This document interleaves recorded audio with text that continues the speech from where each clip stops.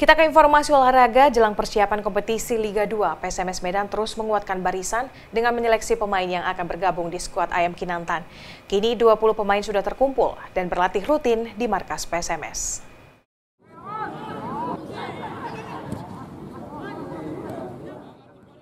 Persiapan PSMS Medan terus berlanjut untuk berlaga di kompetisi Liga 2 mendatang.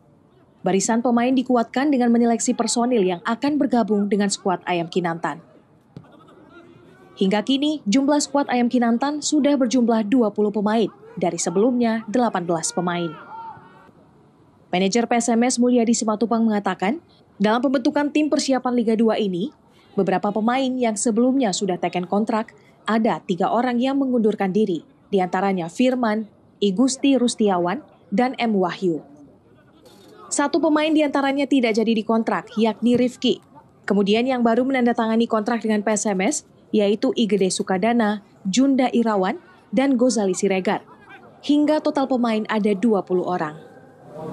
Yang sudah mengangkat kontrak itu lebih kurang 20 orang yang terakhir sudah bekerja. Ada tiga orang yang keluar, yang keluar ya. E, itu Firman, kemudian e, saudara Gustiriawan dan M. Wahyu dan terakhir kita tidak mengontrak saudara Rifki.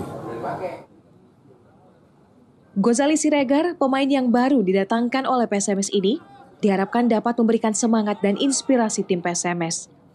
Gozali sendiri sudah menjalani latihan perdana kemarin di Stadion Mini Kebun Bunga. Untuk melengkapi seluruh pemain, manajemen masih menunggu hingga Piala Menpora usai dan kompetisi Liga 2 resmi dimulai. Tim Liputan, Kompas TV Medan, Sumatera Utara.